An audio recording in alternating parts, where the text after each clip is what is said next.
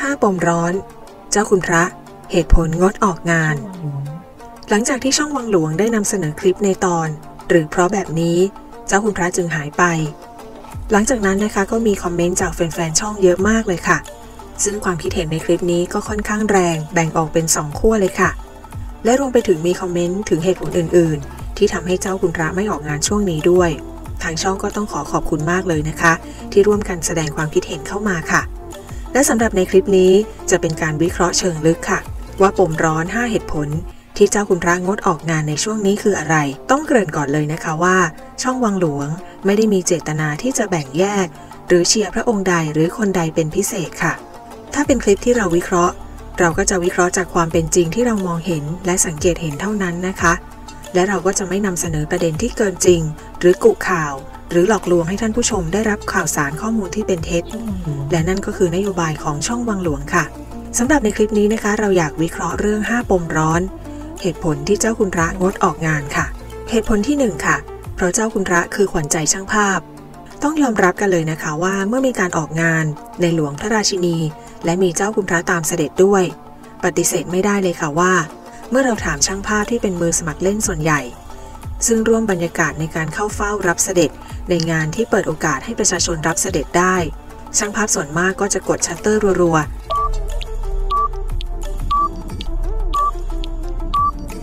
ให้กับคนที่เดินตามหลังสองพระองค์ เพราะอะไรนะคะ ถ้าเรามองกันแบบจริงจังที่ไร้อคตินะคะ เราก็จะสังเกตเห็นได้ว่า ในความเป็นเจ้าคุณพระนั้น จะมีความดึงดูดและน่าสนใจ ไม่ว่าจะเป็นชุดที่ใส่ ซึ่งจะมีรายละเอียด แพทเทิร์นของการตัดเย็บ สีสันที่โดดเด่น รายละเอียดของดอกไม้ประดับผม โทนสีการแต่งหน้า หรือจะเป็นเครื่องประดับอย่างต่างหูและสร้อย ที่หลาย ๆ ชิ้นนะคะ เราก็รู้ว่าส่วนใหญ่แล้วก็จะเป็นสมบัติของราชวงศ์จักรีทั้งนั้น และหลายชิ้นผ่านการเวลายาวนานเป็นร้อยปี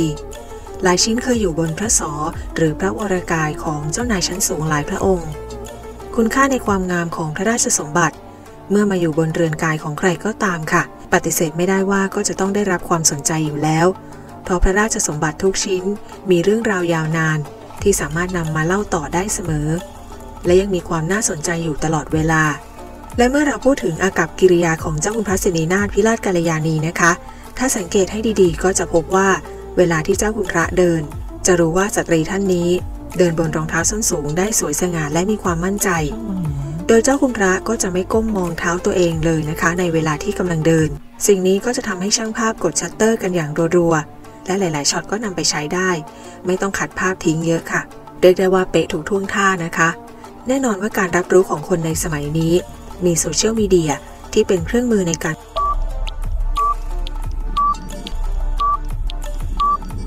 ขับเคลื่อน ความน่าสนใจ ความน่าดึงดูด จากองค์ประกอบต่างๆ ในตัวตนของเจ้าคุณพระ จึงเป็นสิ่งที่ผู้คนรับรู้ได้อย่างรวดเร็ว และมากเท่าที่จะเป็น ความน่าสนใจในประเด็นนี้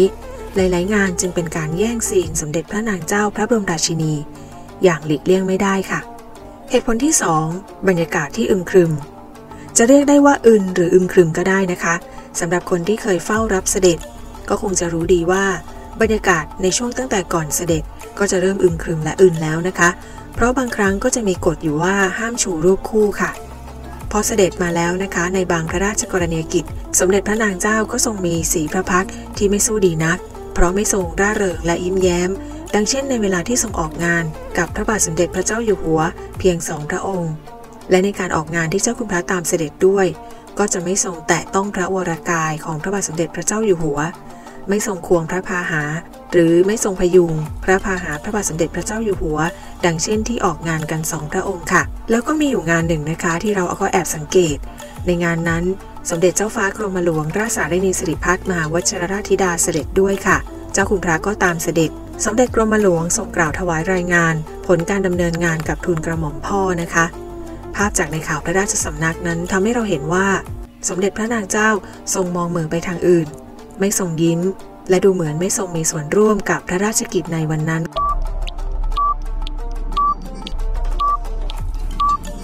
ค่ะ เรียกได้ว่าเป็นงานที่แอดมินก็รู้สึกว่าอื่นที่สุดแล้วค่ะ เหตุผลที่ 3 ติ่งใครติ่งมัน ความขัดแย้งความชิงดีชิงเด่น ระหว่างสตรีในราชสำนักนั้นมีมาตั้งแต่สมัยรัชกาลที่ 5 แล้วนะคะ พระภรรยาเจ้าในรัชกาลที่ 5 นั้นมีทั้งหมด 9 พระองค์ โดยพระภรรยาเจ้าที่มีตำแหน่งสูงที่สุด คือพระอัครมเหสี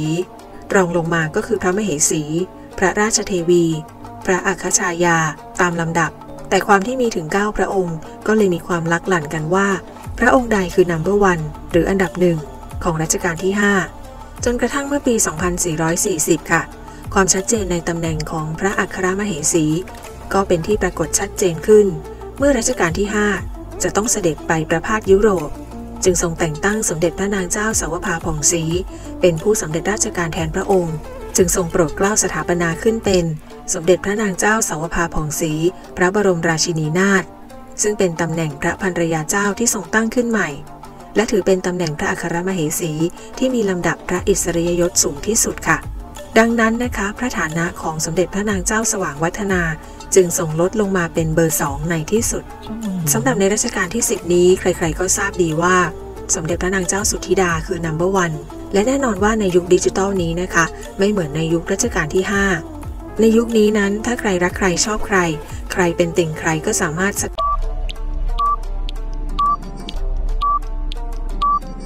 ดงความรู้สึกให้โลกรู้กันเป็นเรื่องปกติ จนเกิดเป็นการแสดงความคิดเห็นที่รุนแรงเลยเถิดกันไปจนถึงการด้อยค่าน number two หรือพระสนมเอกค่ะ อันที่จริงแล้วนะคะ ผู้ที่ปล่อยถ้อยคำที่ด้อยค่านั้น จริง ๆ แล้วควรหันกลับมามองความเป็นจริงนะคะว่า ถ้าหากว่าพระบาทสมเด็จพระเจ้าอยู่หัวไม่ทรงพระราชทานอนุญาต ให้เจ้าคุณพระสินีนาถพิราชกัลยาณีตามเสด็จได้ ก็คงจะไม่มีใครจะต้องตามเสด็จนะคะ สาเหตุที่เจ้าคุณพระงดออกงานในช่วงนี้ นี่อาจจะเป็นปมร้อนอีกข้อหนึ่งที่ทำให้ติ่งสถาบันเกิดความแตกแยกกันเอง จนเกิดเป็นติ่งพระราชินีและติ่งเจ้าคุณพระ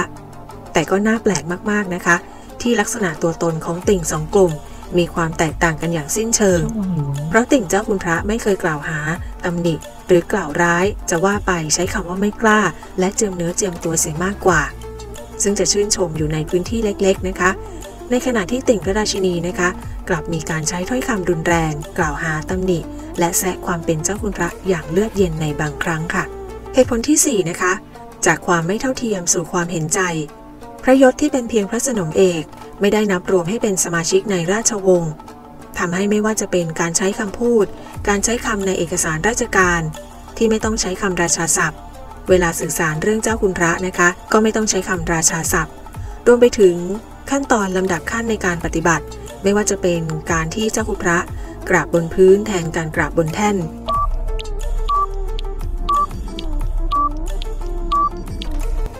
การไม่เดินบนลาดพระบาท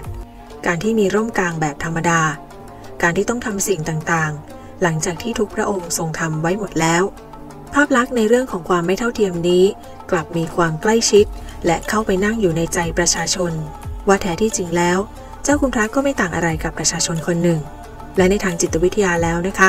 การมองเห็นความไม่เท่าเทียม ระหว่าง number one และ number two นี้เองทำให้ประชาชนรู้ว่า ใครที่พวกเขา รู้ว่าควรจะได้รับความเห็นใจ การงดออกงานของเจ้าคุณพระ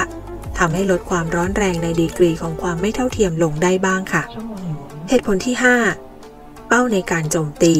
ประเด็นของการมีพระสนมเอก และพระสนมเอกออกงานกับพระราชาและพระราชินี ได้กลายเป็นเป้าหมายหลักในการตีแผ่ข่าวเกี่ยวกับสถาบันพระมหากษัตริย์ไทย โดยสำนักข่าวต่างประเทศได้อยู่เรื่อยๆนะคะ ถ้าหากเรายังต้องพึ่งพาต่างประเทศในแง่ของเศรษฐกิจ ภาพลักษณ์ของสถาบันยังคงมีความสำคัญ พร้อมๆ กับเสถียรภาพของรัฐบาลในประเทศนั้นๆ โดยเฉพาะอย่างยิ่ง กฎหมายหมิ่น 112 ไม่สามารถใช้ได้กับสื่อต่างประเทศ เพราะไม่ได้อยู่ในราชอาณาจักรไทย ก็ปฏิเสธไม่ได้ว่าสื่อต่างชาติ จะต้องตีแผ่เรื่องราวอย่างตรงไปตรงมา ถึงเรื่องราวความรักส่วนพระองค์ โดยเฉพาะอย่างยิ่งเรื่องราวในราชสำนักไทย ที่ไม่เคยมีการพูดกันอย่างตรงไปตรงมา ตั้งแต่อดีตที่ผ่านมาค่ะ ทำให้สำนักข่าวต่างประเทศต่างก็กระตือรือร้นที่จะนำเสนอข่าวอย่างหิวโหย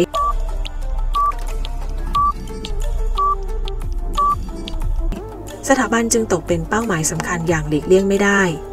การเก็บตัวพระสนมเอกไม่ต้องออกงานพร้อมกัน ก็อาจเป็นการบรรเทาความร้อนแรงก็เป็นได้ค่ะ